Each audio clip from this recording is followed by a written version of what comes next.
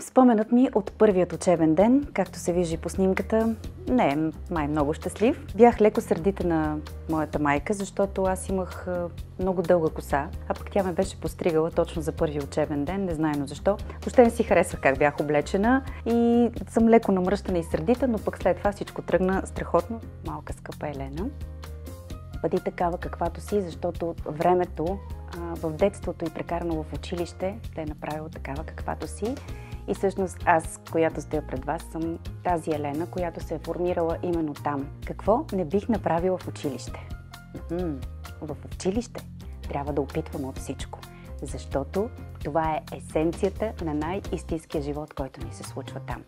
Трябва да опитвате всичко, трябва да а, а, грешите, трябва да падате, трябва да ставате. Това е времето с най-широко отворните врати за всичко в живота. И това време никога не се повтаря. Това са вратите на знанието, вратите на приятелството, вратите на първите емоционални трепети и всичко в този период се случва за първи път.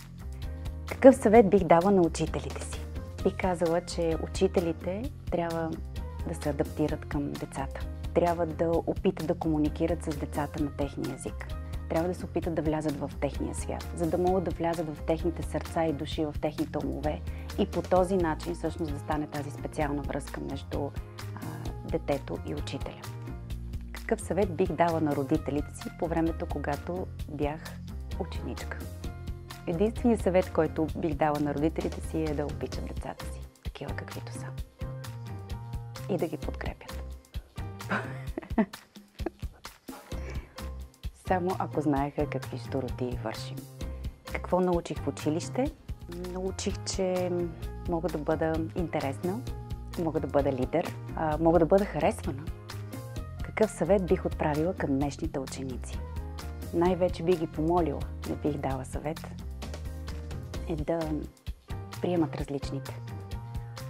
Да бъдат толерантни към децата с специални образователни потребности към всички деца, които са малко по-различни от образа, който те виждат всеки ден в огледалото. Истината е, че в 21 век образованието трябва да се адаптира към нашите деца, а не да караме децата ни да се адаптират към него. Образованието трябва да е наистина за всяко дете.